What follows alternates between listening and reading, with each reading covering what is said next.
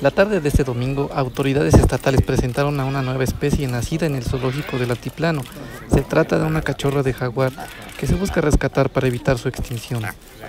El titular de la Coordinación General de Ecología, Efraín Flores, informó que aún no tiene nombre esta nueva integrante de la colección faunística, por lo que en breve se emitirá una convocatoria en la que participarán los niños tlaxcaltecas para tal efecto, tal como se hizo con los leones blancos. Como hemos venido eh, anunciando, eh, nació el pasado 20 de marzo, nació pesando 500 gramos, midiendo 15 centímetros, actualmente ya pesa aproximadamente 4 kilos, ya se alimenta con 250 gramos de pechuga de pollo finamente picada para, para comer, lleva una dieta y un cuidado balanceado y atendidos por los médicos de este zoológico.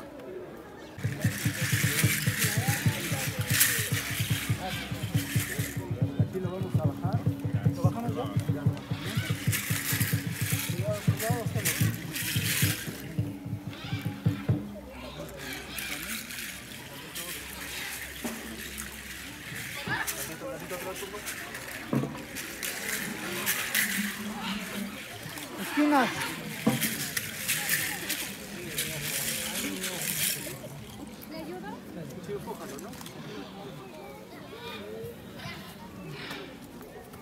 Vemos que el cachorro está un poco espantado por todo este.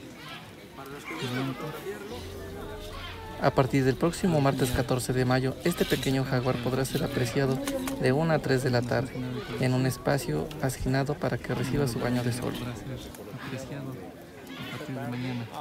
Pues están presentando este.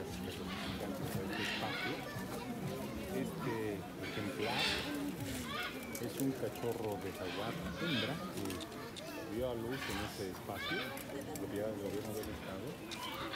Y es, por ahí los niños que le quiten la, la jaula.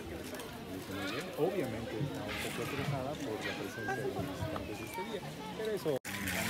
Tenemos que volver a retirar la jaula en, el que, en la que fue trasladado este pues como lo ejemplar el jaguar que se encuentra en peligro de extinción un poco temeroso por la presencia de una cantidad importante de personas